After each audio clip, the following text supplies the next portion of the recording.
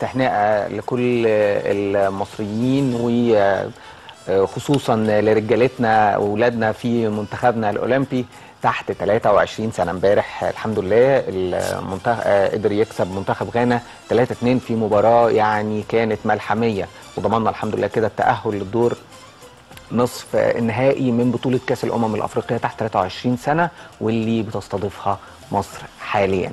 منتخبنا كده حصد ست نقط وضمن التأهل مباراته الأخيرة مع المنتخب الكاميروني وبقت مباراة ترتيبية. يعني نشوف مين أول وتاني المجموعة. آه بس آه بنتمنى بالتأكيد كل التوفيق لمنتخبنا ولرجالتنا وبنحيي اللعيبة اللي كانوا فعلا امبارح رجالة رجالة رجالة.